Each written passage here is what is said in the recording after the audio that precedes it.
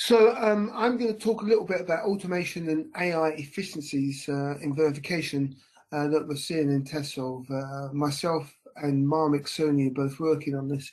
Um, and we, have actually got some good results and a lot of the work is still in progress, but um, we just wanted to give you some ideas of what you could also be doing yourselves. Um, so if we look at the verification flow uh, and where we think AI could be applied, and, and oh, oh, we're not just thinking about um, AI here, we're just thinking about automation as well. You've seen um, already from the two speakers, you can get a lot just by automation. Uh, but we think we can get more by also applying artificial intelligence or machine learning also in that automation. So uh, with the very flow going across the top, um, let's just say we start with requirements specification. Typically at Tessolve, the first thing we would want to do is a feature extraction and come up with a list of features, the main features that we're going to try and verify. Based on those features, we can then generate a coverage plan um, and uh, once we have that coverage plan, uh, we can build our test bench, build some agents, you know, generate some tests or sequences as well, um, build, put, add some constraints and, and, and, generate coverage data. So that's a just you know an, outline of a, a, verification flow that which we would use. Of, um, hopefully, people recognise that as the main components of such a verification flow. Okay. Then, uh, so where could we um, where could we play AI? So you can see there that we've done some feature extraction, we're doing some coverage planning, uh, we're doing some test bench generation, uh, some UVC generation as well for the agents to go into that test bench, test generation, constraint generation, and then the coverage data is going to come from simulation uh, and, and, and debug. And we really, what we want to do is try and get coverage closure uh, and coverage closure may feed back into some of those earlier stages. So where do we think we can uh, automate this or add AI into this process? certainly at the beginning, um, in the feature extraction and the coverage planning, um, we've been using large language models and uh, and generative AI to see how much of that we can we can uh, automate. Um, we think on the test bench generation uh, and the UVC generation, the test generation, at the moment we're trying to, we're mainly using automation scripts around that. Um, we, uh, we think it's a bit of a stretch for the large language models we've seen so far to generate good uh, UVM code. Uh, so we're, we're building automation scripts for that. It maybe in the future we can apply some more AI there, um, but at the moment we think the uh, uh, automation scripts are best. Um, on the constraints, we again see good application of uh, Gen AI and large language models for that. Um, and then on the, um, on the final one there, uh, trying to get coverage closure, we we think there's a potential for quite a number of uh, machine learning uh, techniques there. And we've had some previous talks from DV Club and also our Verification Futures conference on, on various machine learning techniques. So the, I'm going to go through this now and um, some of these details uh, in the next 10 minutes or so. Okay. So um, what we've done uh, as a proof of concept, and we've, we've, actually applied this to a lot more complex complex designs than just a FIFO, but we took the Xilinx synchronous FIFO version 3.0. That's just a, um, an industry available um, specifications, so it wasn't anything special. Um, we took the PDF, so it's a PDF document, um, and we used a large language model um, to do our feature extraction on that. Um, and what we got was a just by feeding the PDF into a large language model, we got the um, the list of all the I/O there, whether it's an input or an output, the signal name, uh, and the description, uh, for example, on the DI, uh, DI, DIN at the beginning there, so data input, we've got write enable signal. So that was extracted automatically, um, that, that, that, table of IO. And then we started to generate features. Um, so data read and write operations verify that data presented at the, that the data input port is, is correctly written into the FIFO. Okay, um, so we started to generate our feature extraction based on that. Um, again, that's just feeding a PDF into a, a, a large language model. We have um, we took pre-trained uh, large language models and then we trained we trained them uh, a little bit further uh, on on how to do feature extraction on the on the specification. Um, okay, so that worked well. Uh, as I say, we've applied that to more complex designs, customer designs, which we can't really talk about. So the FIFO is a generic one, which we can talk about. Okay. Um, we also generated some um, test benches. Uh, again, just all we did was feed in the PDF uh, on our pre-trained um, uh, Gen AI bot. Um, so we can we can we could easily generate uh, a directed test bench, and you can see here this is not particularly sophisticated, um, but it does show you that you know that you can actually generate that that that type of test bench nice and easily, um, again without much effort and without much pre-training on the AI model. Um, but what we obviously want to do is try to train our models to to to help us generate aspects of that of that UVM environment. So um, what we did do uh, is generate some assertions. You can see there, we generated realized that empty and full couldn't both be there at the same time, couldn't both be high at the same time. So it generated that assertion for us.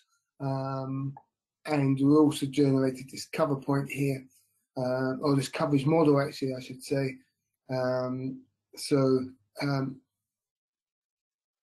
so we identified those control signals and it, wanted to put them uh, cover points on those. You can see also some cross data coverage points here as well. Um, okay, so um, all of this was automatically generated, nothing by hand. Um, again, just by inputting that PDF. So our, models are getting fairly good at generating some specific aspects of the UVM environment.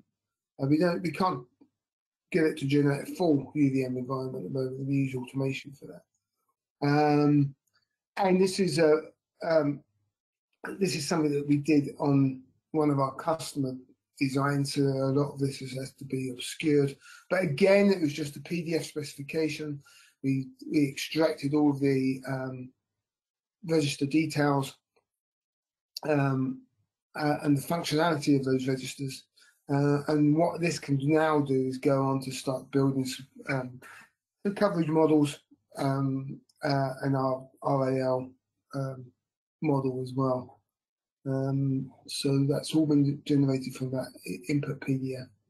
Um, I won't go into the details here. It's just that we can generate this type of information now. Um, and now we're more, talking more about um, how we uh, generate these um,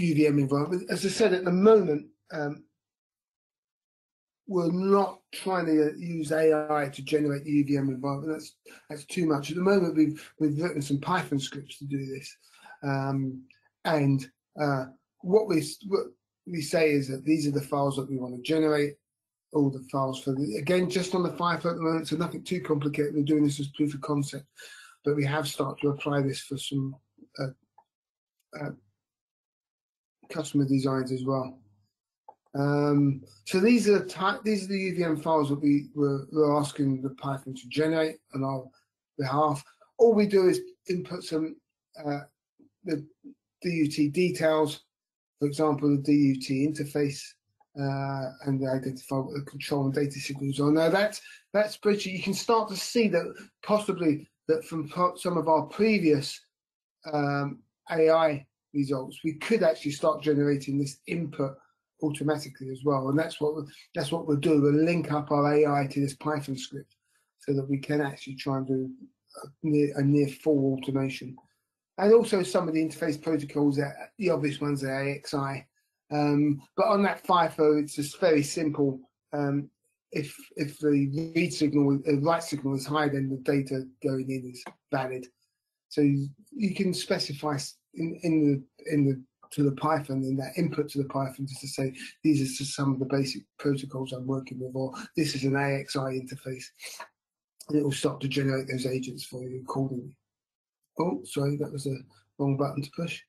Um, and um, we are generating from this um, quite a lot of code now. So we are, so we've actually generated a full FIFO uh, UVM compliant um, test bench with all, with all these files that I mentioned there, and that and that works first time. So um, that and now we're, we're trying to extend our Python. It's, it, it's a little bit of a challenge to make it generic enough to to, to generate any um, UVM environment based on any design. But that's our goal, uh, so we can actually fully generate uh, a complete test bench with all of this now. Um, and uh, within the, for the last few minutes, I just want to talk about uh, how we start to apply machine learning to some to coverage closure. So if we start here, um, we've got a test bench. We typically apply constraints. We get set stimulus, which apply to the DUT, and we get coverage out of that. So what we want to do is put machine learning into that process. Um, and uh, what we're looking at is specifically what set of constraints does the test bench have and what sort of stimulus did it generate. Um, and we put that into our machine learning um, uh, and then the, we, we, get the coverage from that simulation and that's sort of its score that's a score for that stimulus or the, the score for that set of constraints and what we're trying to do based on that score and that feedback process is uh, update the test bench either to improve the constraints or improve the stimulus and to see if we can actually start to close coverage um, it's a little bit more sophisticated than, than, this diagram implies, but that's what we're trying to do. Um, and um, what we're finding is is um, uh, something like constraints is by far the better thing to work with um, because by applying constraints to the test bed, you, you, you're sort of one removes because if you can up, if you can generate stimulus, then then you'll get much closer to the D. Um, uh, you, you one less removed from just generating constraints. But the, the advantage of uh, basing it on constraints inside the test bench is the test bench knows how to generate valid stimulus. So it, it, it knows what it can do and what it can't do, what the protocols are. So it will generate valid um, AXI access, for example, a valid transaction and you can't always necessarily the machine learning may not learn that quickly enough about what is valid stimulus what's invalid stimulus or legal and illegal.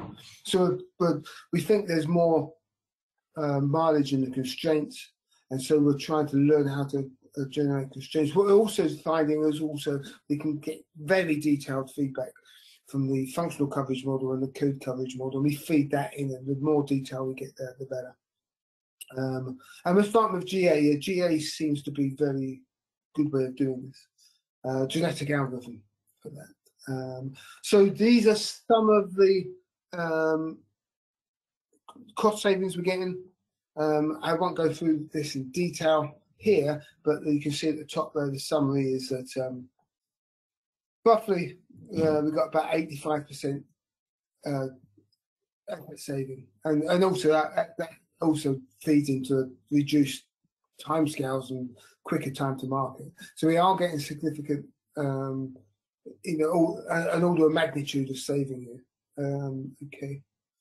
Um, and some of the practicalities um, we found is uh, on the LLM, we do need expertise in the DUT, but also we're finding we, we have a few now good experts on large language models and Gen AI. Um, similarly for coverage closure as well. We do need large data sets um, of clean, unbiased data, uh, and we, we're learning how to build those as well. Security, we we thought was going to be an aspect, um, but um, we we can either use the cloud to learn build these models, but if we've also um, hold some of those large language models in-house as well onto our own servers just to make them more secure. Okay. Um, so we are finding AI/ML will, is changing the way we're going to do verification. Chatbots a good way to perform some basic tasks, um, and we are starting to apply ML. Um, EDA are adding it under the hood, but we prefer to try and make it explicit for ourselves. Uh, we want to look at AI for debug in the future as well. We've had again, we've had a DV club on that, um, and, and that's and we've seen from a cadence solution. Okay, so I've come to the end of my time. Uh, if there's any questions, we'll answer those offline. Um, so uh, thank you for your time, and I will just finish off the meeting with our closing slides. Um, quickly. Okay. Um, can you see that, Tisha? Uh, yeah. Okay. Let me get to the beginning. Yeah. So thank you for your particip participation today. Um, the presentations, both the slides and the recordings for the three talks today will be available on our website there. Um, if you've got any ideas or suggestions for preferred topics, send them to me. We do listen. Quite a few of our DV clubs this year have been built on suggestions. Um, actually, I think probably, I think we had about six DV clubs this year, and five of them were based on suggestions. So we do listen. Um, these are the important dates. Everything's next year now, so um, they're the dates for DV Club. You'll be sent an email on this. We do have verification futures. Uh, that is a physical event as well as online. That's going to be in the UK in Reading uh, in June, the 18th of June. We're returning to the university. It seemed to be a very good venue for last year, so we're returning there. And finally, just a thank you to everybody, uh, our sponsors, Agnisys, Breker, Cadence, Synopsys, Imperas, uh, ARM and ST, and Tessolve. And uh, thank you very much for attending. Thank you. Thank you, Disha. Thank you, Mike. Thank you, everyone. Yeah, and a big thank you to our two speakers today as well. Nikita and Simon. Thank you. thanks very much. Bye. Thank you. Thank you.